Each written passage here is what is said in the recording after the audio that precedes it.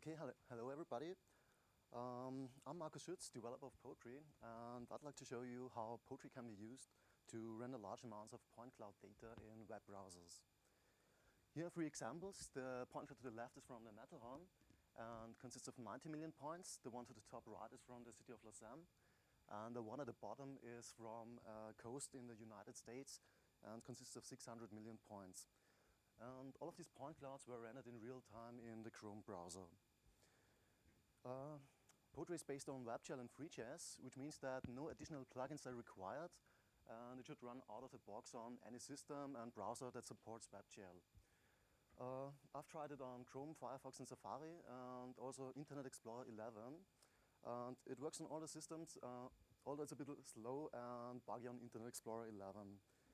Uh, it's entirely, entirely client-side, which means that uh, you don't need uh, any code execution rights on the server, you don't need PHP. The server is only to store the point cloud data and everything else is done by the client. And uh, the idea behind rendering such large amounts of point cloud data is that you don't load the full point cloud at once. Instead, you only load uh, part of it which is visible and up to a certain level of detail. And uh, yeah, that's usually so about one to two million points uh, at once. Um, this is an example of what it looks like when you open the viewer. At first you get a very coarse representation of the model and uh, over the next few seconds more and more points are streamed in until, until you get the final level of detail. Um, the workflow of using Potree looks like this. Um, at first you have to convert your point cloud with the Potree converter um, the converter creates a multi-resolution hierarchy of the point cloud, which is needed uh, to stream points inefficiently.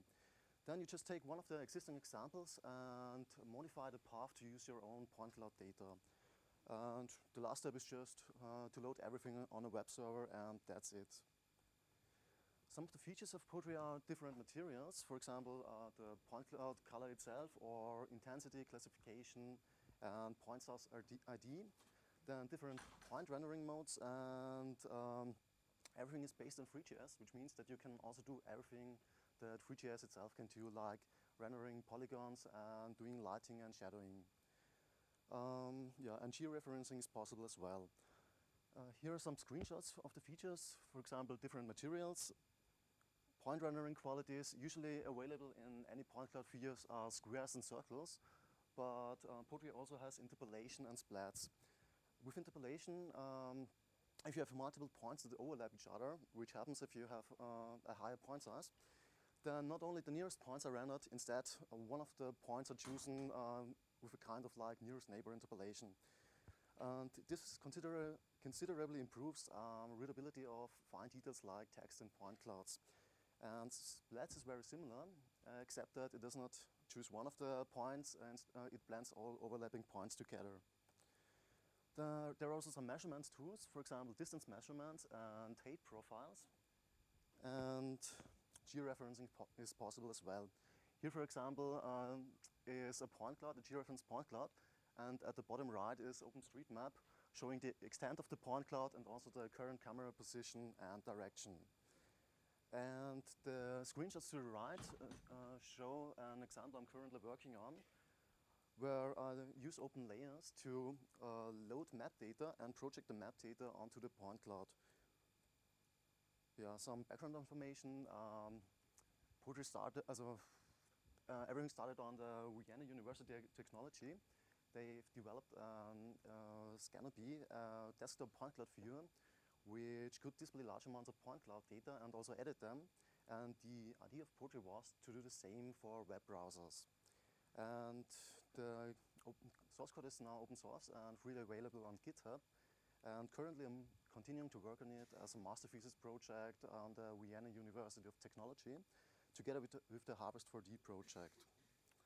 And yeah, I want to show you some companies that already use Potree um, not all of them are public, some are only for internal use, but I've got some screenshots. This, for example, is from Norconsult, uh, which use Potree to display some church and the place around it. And they've also added um, automatic camera fly-through by creating a spline and letting the camera move along the spline.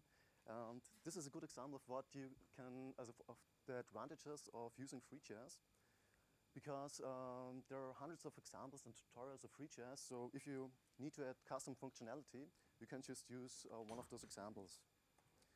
This is from Antia, an Italian company, which added Potree uh, into their web uh, interface to display point clouds of surveys of power plants or oil plants. This is from a Japanese surveyor, Anan, and I don't know much about them because everything's Jap Japanese, but um, they've also got some point clouds that are, that are publicly available on this link. This is from ICGC. This is not publicly available yet, but hopefully by tomorrow or uh, in the next few days. And this is from TreePoint. They're currently developing a LiDAR platform, an online LiDAR platform, and they want to use Potree to display the point cloud data in web browsers. And this is from GeoRepublic. They've used Potree uh, also to, um, also to add a functionality to display point clouds in their web interface. In this case, for of Japanese highways. So um, now I'm going to show you some, some live examples. This is the Matterhorn consists of 90 million points and rendered in real time in Firefox.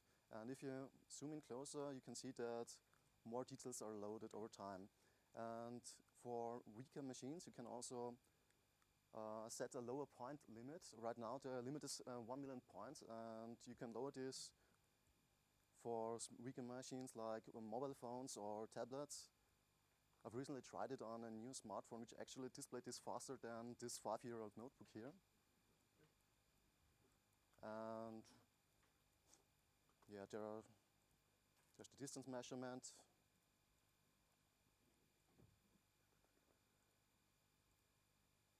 The heat profile and so on. Okay, and yeah, this is the example of using a point cloud and maps to project them onto the point cloud.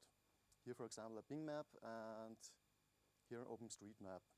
And this is loaded uh, online, so for example, if you move this here, you can see it also moves on the point cloud. Okay. Yeah, thanks, that's it. And if you're interested in Potree, um, write me an email, and if you put something online, uh, yeah, please send me a link. Thank you.